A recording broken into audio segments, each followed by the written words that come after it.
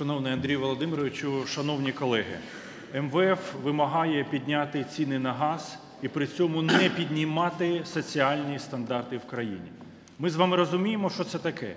Це подвійний удар по українському народу по купівельній спроможності громадян.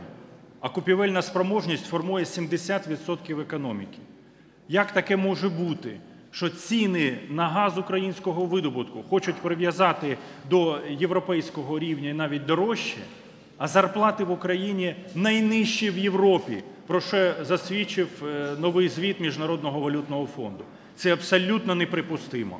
Сьогодні показник заощаджень в Україні на нулі. Це значить, люди не мають жодних коштів для того, щоб відкладати. Вони тільки витрачають останнє для того, щоб купити ліки, для того, щоб купити е, харчі, на які теж не вистачає коштів. Тому команда радикальної партії ініціює загальну національну програму Зробимо ліки дешевшими. Ми пропонуємо конкретні механізми, як зробити ліки дешевшими на 30-40%, а на деякі ліки в 2-3 рази нульова ставка ПДВ на ліки, обмеження рентабельності, референтне ціноутворення, демонополізація аптек і усунення е, картельних монополій міжнародних виробників. Це дозволить зробити ліки в Україні доступнішими для широких верст населення. Кілька десятків мільйонів громадян відчують позитивний ефект від цієї комплексної програми.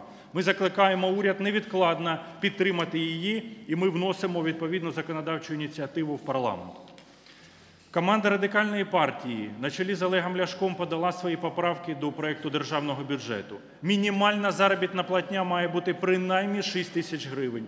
Ми надали абсолютно фахові обґрунтування для цього. Для цього є можливості і є необхідність, тому що ми вже всі в Україні бачимо.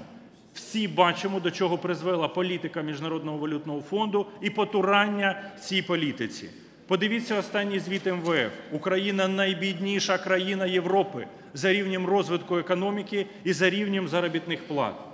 Найбагатша людським капіталом і ресурсами, але найбідніша за рівнем життя.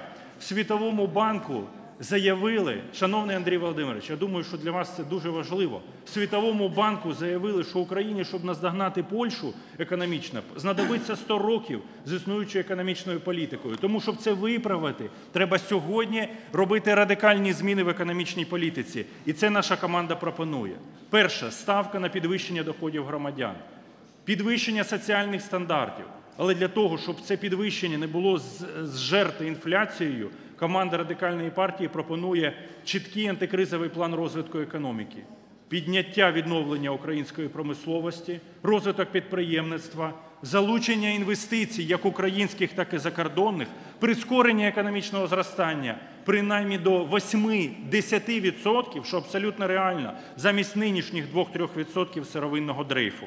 Це дозволить нарешті перетворити Україну з сировинною колонією, яку, на жаль, сьогодні економічна політика влади зробила країну, перетворити на виробника і сучасну європейську державу.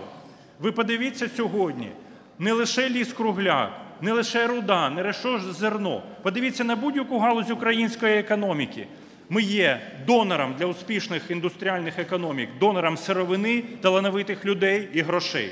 І саме тому команда радикальної партії я вдячний всім, хто підтримав прийняття мораторію на експорт лісу кругляка, який сьогодні, слава Богу, діє. Ми не дамо відмінити його нікому. Ні президенту, ні Євросоюзу, нікому. На жаль, президент заветував мораторій на експорт дров, але ми будемо боротися за посилення цієї норми. Це стратегічно важливо.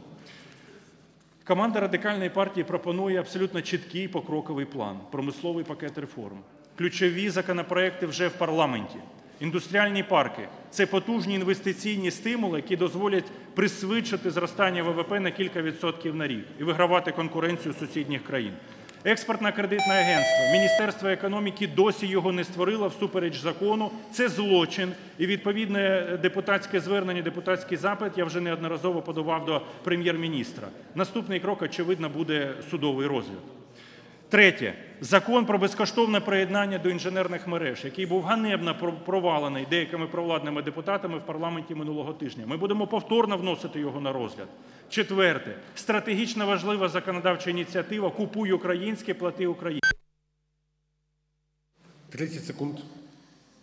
Ми вважаємо, що це найважливіший економічний закон за всю історію України, який дозволить захистити українських виробників, розвинути внутрішній ринок, створити нові робочі місця в Україні, повернути заробітчан в Україну, дати замовлення українцям, а не так, як сьогодні ганебно купують імпорт, вирубають Карпати, вивозять сировину. І люди, які не мають роботи, їдуть за цією сировиною. Ми радикально змінимо економічну політику. Підтримайте цю державу. Дякую вам.